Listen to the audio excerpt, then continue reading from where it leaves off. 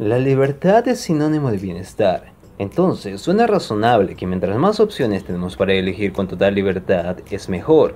La vida es una cuestión de opciones, opciones que comienzan al equipo que vamos a alentar, continúan en el colegio y la universidad, con nuestros amigos y las parejas, e incluso abarcan otros ámbitos como el deportivo.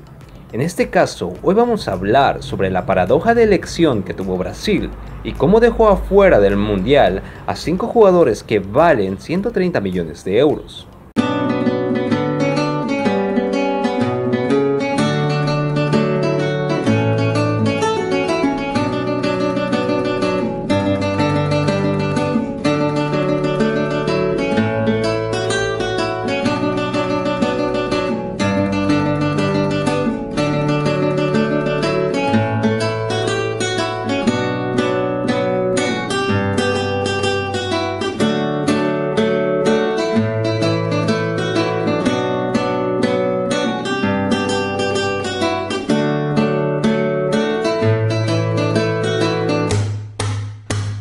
Brasil no llevará al Mundial a cinco jugadores, cracks, goleadores o figuras en sus equipos.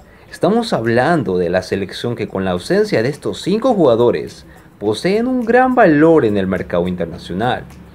Solo el pentacampeón del mundo, Brasil, puede darse el lujo de prescindir de futbolistas de la jerarquía de Roberto Firmino y Gabriel Magaláes, la Canariña tiene más de dos jugadores cracks por posición y así lo demostró Tite en su nómina, donde resaltan cinco grandes ausencias que suman un valor de 130 millones en el mercado de pases internacional.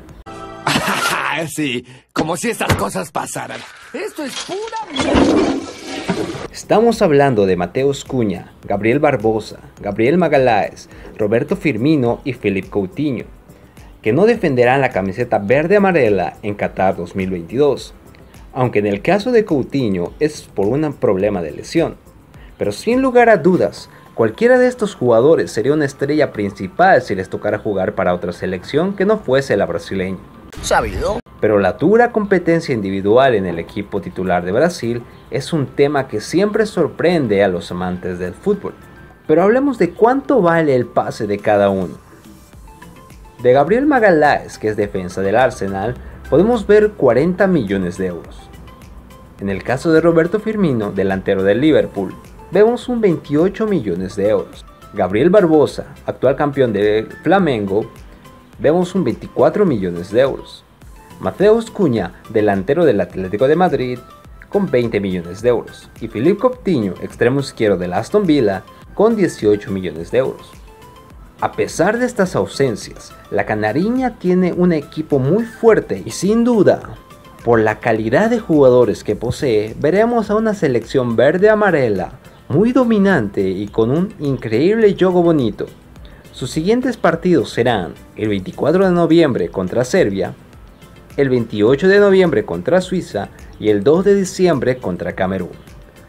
Si te gustó el video, dale like y suscríbete que seguiremos haciendo videos con respecto a Qatar 2022.